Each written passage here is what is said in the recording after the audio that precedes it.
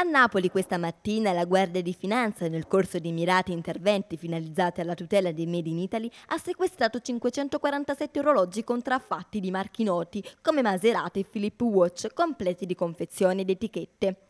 L'attività di servizio condotta dai militari del secondo nucleo operativo metropolitano di Napoli è sorta da una segnalazione del nucleo speciale di beni e servizi della Guardia di Finanza di Roma, i cui sviluppi sulla filiera di distribuzione hanno portato ad individuare tre società partenopee dedite alla vendita online di orologi di sospetta provenienza. Solo i controlli nelle sedi delle società hanno sciolto ogni dubbio sulla questione. Sono stati così ritrovati 500 esemplari di orologi posti in vendita con i due marchi e di riscontrarne la loro contraffazione.